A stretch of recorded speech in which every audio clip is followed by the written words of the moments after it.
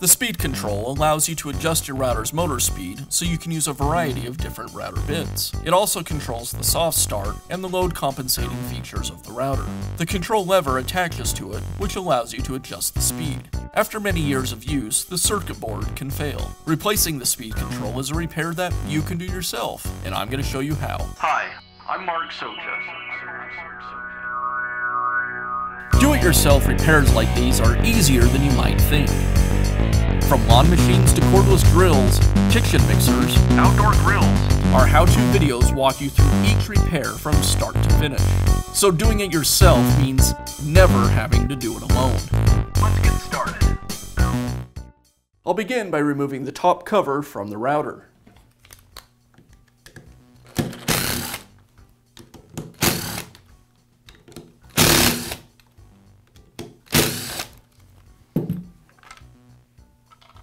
Now I'll pull the speed control and the switch from the motor housing.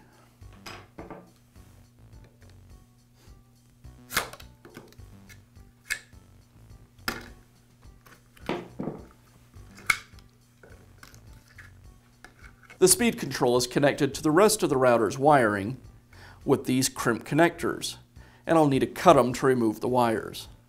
When I cut these connectors, I want to cut up as close to the crimp as possible. That way I lose as little of the wire length as I can.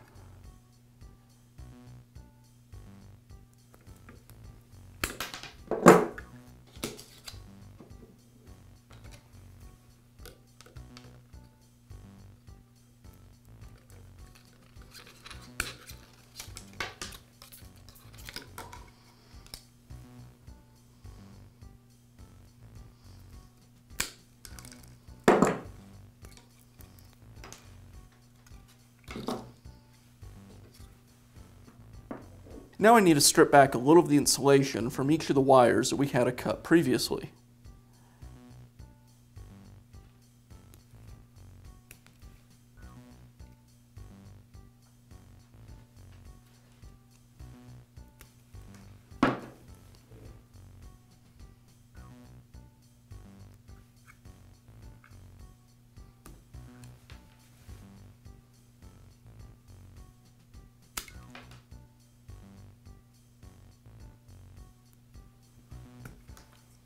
Now I can reinstall the new speed control. First, I'll attach the white wire from the switch to the white wire from the field and the black wire from the speed control.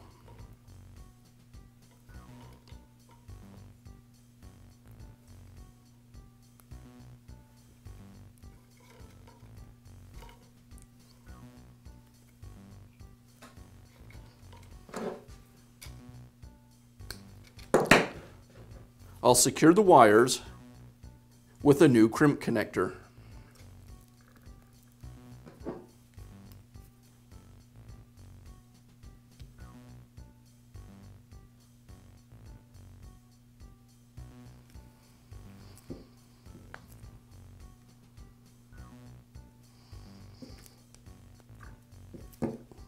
There are two red wires coming from the speed control. One of them is labeled a neutral. That wire goes to the red wire from the switch.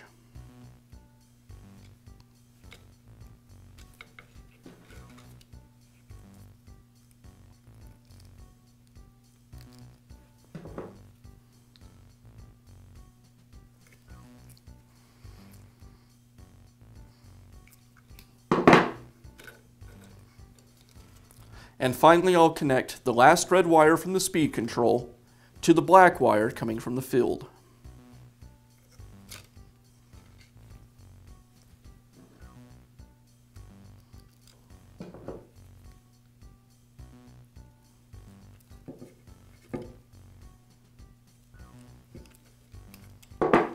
Now I can reinstall the speed control and the switch back into the router housings. There's this insulator paper attached to the speed control.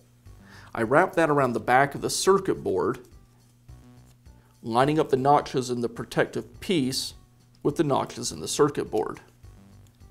And now I can slide all of this back down into the housing.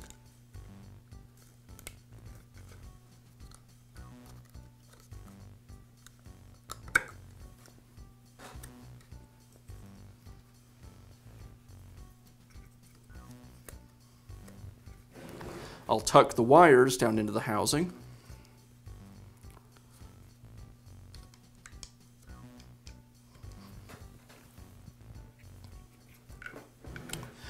The longer red and black wire coming from the speed control get tucked into this channel on the top of the housing.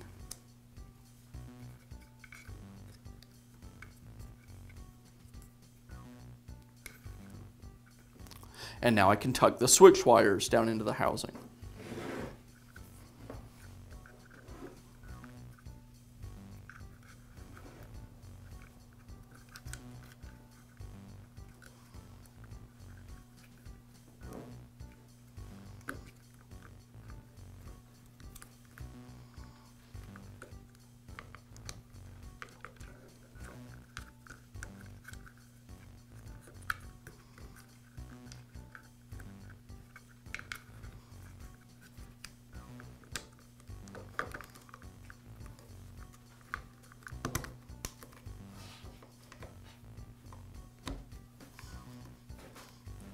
Now I can reinstall the speed control lever.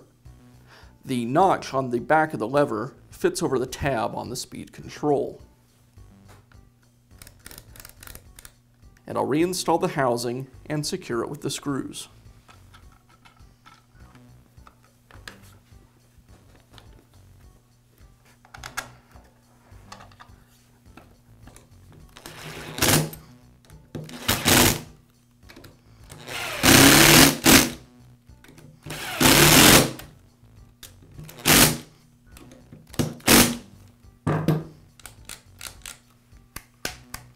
And that's all it takes to install a new speed control in your Porter cable router.